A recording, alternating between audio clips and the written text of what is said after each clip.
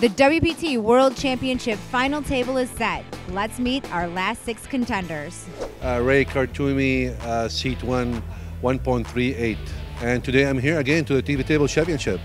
Very excited. Tony Dunst, and I'm sitting in seat two with uh, 1.255 million. I'm here at the WPT Championship final table for my second year in a row, so I'm really excited about that. My name's Asher Connif. I'm in seat three. I have 2.36 million chips, and uh, I'm not even supposed to be in this tournament. I misclicked into the satellite and won my seat, and supposed to be in Europe, and now I'm here at the final table, and it's amazing.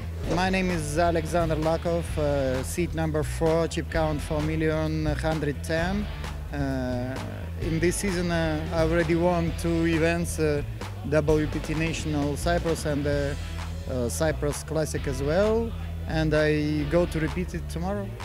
But for this event, I'm sitting in seat five, and I have 880,000 in chips.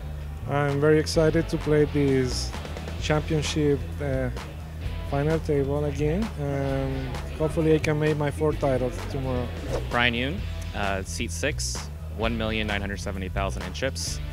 Got really lucky to win a big pot right there, right before we uh, got down to six. So feeling really good since I have a lot of chips now. I, hope, I thought I was going to get in with a short stack, but it looks like I'm going to have some chips to play with, so it should be fun. Who will be our final champion of season 13? Stay tuned to WPT.com for all your live updates.